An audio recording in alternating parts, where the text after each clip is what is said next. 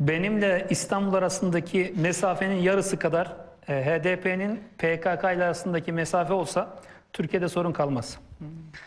E, kastettiğim herhalde işte uzun mesafe uzayınca onu kastettim. Şimdi HDP'nin anlaşılması için bir metafor yapmak istiyorum. Buyurun. O da şu. Siyasilerin ben doğru davrandığını düşünmüyorum. Siyasiler siyasi davranıyor. HDP siyasetle anlaşılacak bir parti değil. Bir milli güvenlik meselesidir HDP'nin duruşu. Onu onu açık açık söyleyelim. İşte HDP siyasi parti ise Cumhuriyet Halk Partisi ney? HDP siyasi parti ise AK Parti ney? HDP siyasi parti ise MHP ney? HDP siyasi parti ise İyi Parti ney? Şimdi siyasi parti hüviyetini kazanmış. Bir şekilde almış. Diyoruz ya işte kurulmuş. Peki Türkiye'deki tüm siyasi partilerin HDP gibi olduğunu düşünün. Türkiye Cumhuriyeti diye bir devlet kalmaz ortada. Düşünsenize diğer partilerinde terör örgütü tarafından listeleri belirleniyor. Diğer partilerinde e, terör örgütünün güdümünde olduğunu, onların kontrolünde olduğunu ve o partiler bir anlamda terör örgütünün e, istihdam merkezi olarak çalıştığını, Türkiye karşıtı ne kadar faaliyet varsa onların içinde yer aldığını hesaplayın. Bir düşünün yani. Şu anda hepimiz 5 kişiyiz düşünelim. Tüm Türkiye'deki siyasi partiler HDP gibi. Hangimiz o ülkede yaşamak isteriz? Biz doğru konuşmuyoruz. Bu ülkenin aydını iki yüzlü. Doğru konuşmuyor. Siyasetçisi de doğru konuşmuyor. O cesareti de yok. Ya siyasi çıkar için doğru konuşmuyor ya da korktuğu için doğru konuşmuyor. Ya da kötü niyetli olduğu için doğru konuşmuyor. Şöyle bir düşünelim. Bırakalım. Tanımıyoruz. Oy verdiği kitleyi, oy, oy aldığı kitleyi tanımıyoruz. Adı HDP değil. Bir ülke düşünün adı Zenit olsun bu ülkenin. Zenit bilmediğimiz bir isim olsun. Ve burada Zenit ülkesinde X diye parti kurulsun. Bu parti siz oraya ziyarete gidin. Siyasetini konuşurken desinler ki bu X partisinin Zenit ülkesindeki X partisi ülkenin bir bölümünü bölmek istiyor. Kendi otoritesini kurmak istiyor. Ülkeyi bölmek istiyor. Ülkenin bir bölümünde ayaklanma çağrısı yapıyor. Ul- Ülkenin bir bölümünde şöyle veya böyle sahip olduğu imkanları kullanarak elindeki iş makinelerini terör örgütünün, oradaki terör örgütünün hizmetine sunuyor. O X partisi Zenit ülkesindeki başka bir yapılanmanın güdümünde hareket ediyor. O Zenit ülkesinin tüm dış politika çıkarlarının karşısında Türkiye e, Zenit ülkesinin ne kadar düşmanı varsa onlarla birlikte hareket ediyor. Üyelerinin tamamı bu yapılanma içinde hareket ediyor. Ve o X partisinin, Zenit ülkesindeki X, X partisinin tüm kurumları, ilçe ve il kurum e, başkanları terör örgütüne istihdam sağlayan bir yapı olarak ortaya çıkıyor. Hatta ve hatta oy aldıkları insanların kızlarını ve çocuklarını terör örgütüne kaçırıyor. Böyle bir ülke düşünün. Böyle bir Zenit ülkesinin böyle bir partisini düşünün. Ve Zenit ülkesinde bu terör örgütünün liderleri terör örgütü olarak tanınmasına rağmen o ülkenin meclisinde onun lehine sloganlar atıyor ve il başkanlarında, ilçe başkanlıklarında onların resimlerini taşıyor. Yani örgüt merkezi olarak çalışıyor. Peki siz o ülkeyi ziyaret ettiğinizde, o ülkenin siyasetini konuştuğunuzda size bunu anlatsalar. Ya bu Zenit ülkesine geldin ama sen demokrat bir demo, de- demokrasiden bahsediyoruz. Böyle bir parti var. Bu parti ile ilgili size böyle bir ilgi verildiğinde ne hissedersiniz, ne düşünürsünüz? Bunu benzetme, bu metaforu yapmamın tek bir nedeni var. O da şu. Bizim aydınlarımız ve siyasetçilerimiz başka argümanları göz önünde bulundurarak hareket ettiği için onları şöyle biraz geri çekmek istedim. Biraz çekilin, geri çekilin. Geri çekilin, uzaktan bakın. Şöyle Türkiye'ye bir çıkın dışarı.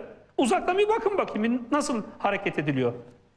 O, o resme baktığınızda o zaman HDP'yi konuşursunuz. HDP'nin nasıl bir yapılanma olduğunu anlarsınız.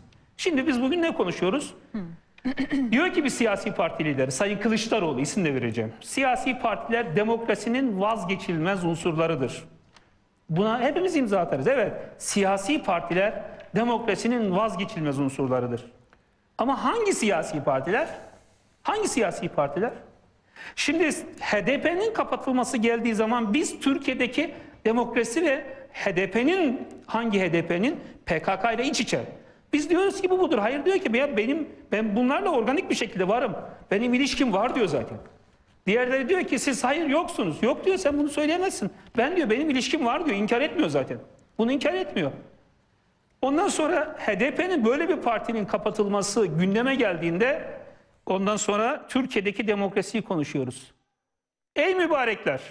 Kastettiğim burada mübarekler bu konuda HDP'yi haklı bulan, HDP'ye alan açan siyasetçiler ve aydınlar. Ey mübarekler! Peki HDP, HDP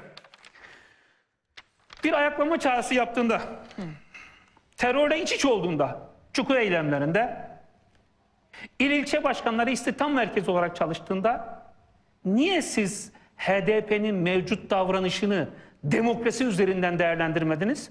Korkaklar. Tekrar söylüyorum. Siz niye HDP'nin normal demokratik demokratik bir ülkede demokratik siyasetin içinde olması gerektiği gibi davranmayıp bu ülkenin siyasetini, ailelerini daha da önemli tekrar söylüyorum. Ailelerini, onların uykusuz kalan anneleri, babaları, kardeşleri kaçırılan ailelerini zehirliyorsunuz. Demokrasiyi zehirliyorsunuz. Toplumu zehirliyorsunuz. Dış politikasını zehirliyorsunuz. Bölgesel politikasını zehirliyorsunuz. Zehirliyorsunuz da zehirliyorsunuz. Peki bu olduğunda niye çıkıp demiyorlar ki ya senin bu duruşun Türkiye'deki demokrasiye zarar veriyor demiyorlar. Niye o zaman demokrasiyi konuşmuyoruz?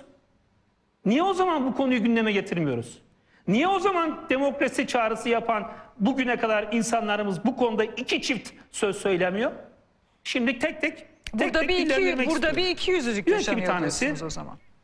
İki yüzlülük, yüzsüzlük, yüzsüzlük, iki yüzlülük de yüzsüzlük. Şöyle söyleyeyim. İşte HDP kapatılma, e, HDP'nin tüm davranışları noktasında hiç söz söylemeyenlerin tamamı iki gündür kafasını uzattı. Kafasını uzattı. Kimisi diyor ki ben Cumhurbaşkanı adayıyım beni görün ha. Kimisi diyor ki ilk önce ülkem değil. Pazar günü yazacağım köşede. Kimi kastediyorsunuz? Önce ben Cumhurbaşkanı adayım beni görün başlıyor. derken? Sayın Gül diyor. Hiç sesin çıkmadı. Sayın Gül'den bahsediyorum. Sayın Gül bugüne kadar HDP ile ilgili bir açıklamasını gördünüz mü? Ama baktığınız zaman açıklaması var. Bu, bu bunlar geliyor.